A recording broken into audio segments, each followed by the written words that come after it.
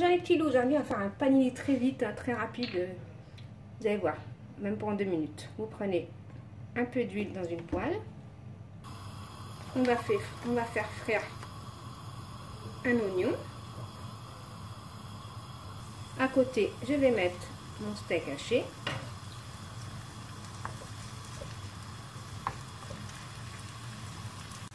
Voilà, je retourne mon steak. Par contre, là, les oignons, je vais les mettre de côté, je vais les enlever. Sinon, ils vont trop griller. Et voilà, et là, je laisse cuire mon steak tranquillement. Sans oublier le sel et le poivre, bien entendu. Et là, je vais couper mon steak en deux.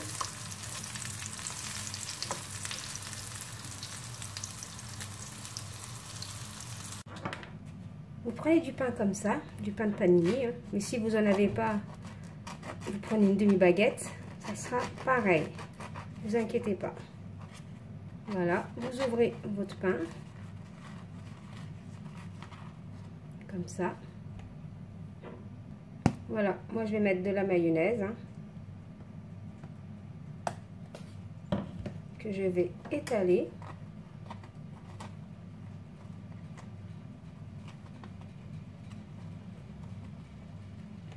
Je vais prendre une tomate que je vais couper en petites en rondelles.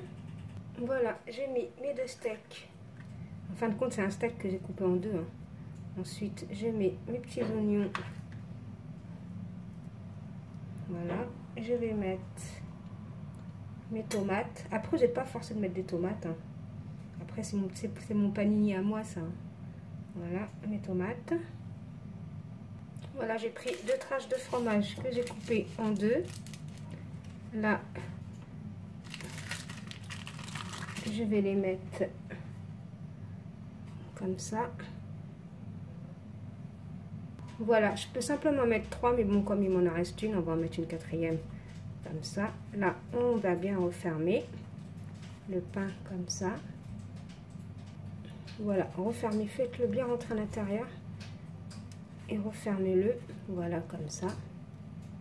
Et là, je le mets dans mon gris. Je referme mon gris comme ça et j'attends deux minutes. Voyons voir mon panini. Voilà mon panini, le fromage qui a bien débordé. Super bon. Voilà le petit loup, mon panini. On va le couper en deux.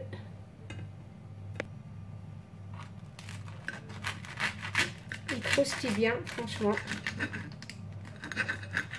Mangez ça avec de la salade. Voilà les petits loups. Donc si vous avez aimé cette vidéo, veuillez liker, commenter, partager. Bye bye les petits loups. Bon appétit